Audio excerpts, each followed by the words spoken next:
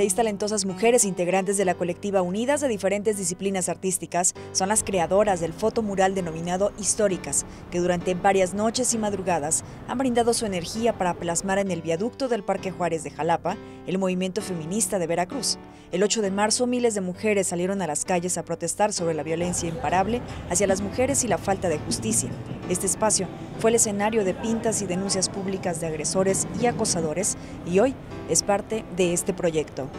Mostrar que hay muchos tipos de feminismos, que hay como diferentes formas de hacer una lucha eh, social y política siendo mujeres y que todas esas formas pueden convivir en, un mismo espacio, caminar en una misma dirección. Todas estas mujeres son una inspiración para nosotras, eh, cada una eh, tal vez no formó parte de un movimiento feminista como tal, pero a día de hoy gracias a eso tenemos oportunidades eh, y derechos que son muy importantes para nosotras. Dentro de las mujeres que pintamos están Lola Cueto, Esperanza Brito, María Izquierdo, Carmen Mondragón, la maestra Esther Hernández, eh, Elvia Carrillo y la verdad es que estas solamente son algunas de muchísimas de las mujeres que, que fueron importantes, ¿no?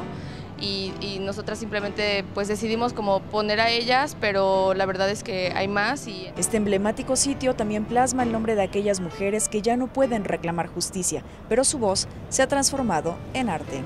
Este es el árbol de la memoria, es nuestro núcleo, de hecho es el centro de todo el viaducto.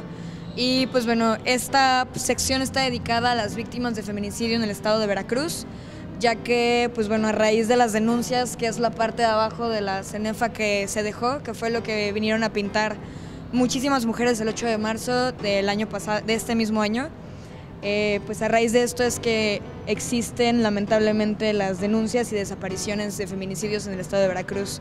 Lamentablemente son mujeres que son recordadas por cifras, por un número, cuando son personas que tuvieron historia, que tuvieron familias, que tuvieron una vida y lamentablemente pues pasó lo que tenía que pasar, entonces esto es como para honrar y no olvidar a ninguna de las víctimas y a ninguna de las mujeres que también son parte de todo esto, que hoy lamentablemente no están con nosotras. Tras dos meses de haber iniciado los trabajos, este sábado serán inaugurados los casi 200 metros de lado a lado de un mural levantado para no olvidar que sin ellas no hay nosotras. Eh, a mí me gustaría que toda mujer que pase por aquí de cualquier edad, pues tenga ese sentido de pertenencia, ¿no? De sentir esa unión.